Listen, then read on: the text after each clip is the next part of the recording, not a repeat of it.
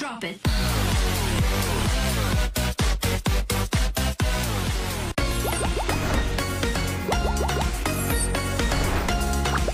หนึ่งนาทีกับกปท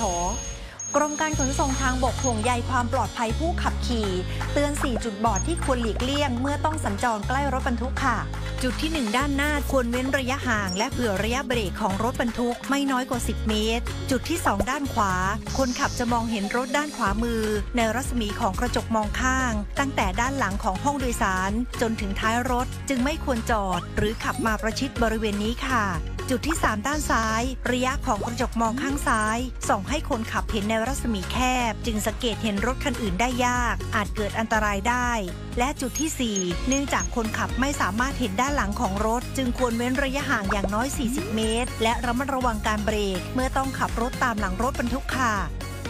ด้วยความปรารถนาดีจากกองทุนเพื่อความปลอดภัยในการใช้รถใช้ถนนกรมการขนส่งทางบก กระทรวงคมนาคม Drop it.